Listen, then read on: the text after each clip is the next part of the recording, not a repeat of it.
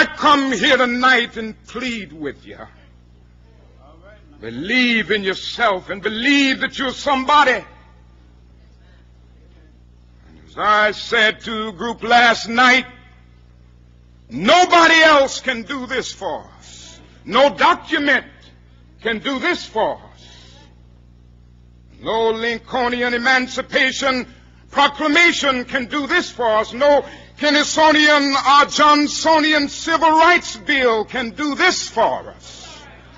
If the Negro is to be free, he must move down into the inner resources of his own soul and sign with a pen and ink of self-assertive manhood his own Emancipation Proclamation.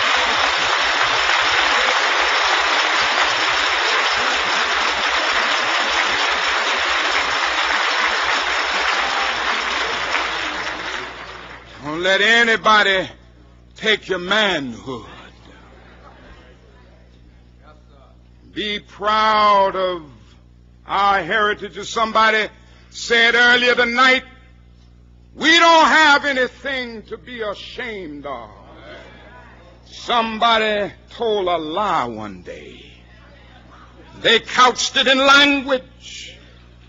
They made everything black, ugly, and evil. Look in your dictionary and see the synonyms of the word black. There's always something degrading and low and sinister. Look at the word white. It's always something pure, high, and clean.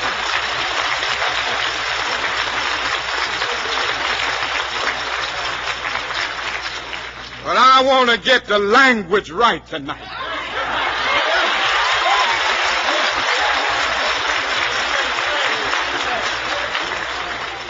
I want to get the language so right that everybody here will cry out, yes, I'm black, I'm proud of it, I'm black and beautiful.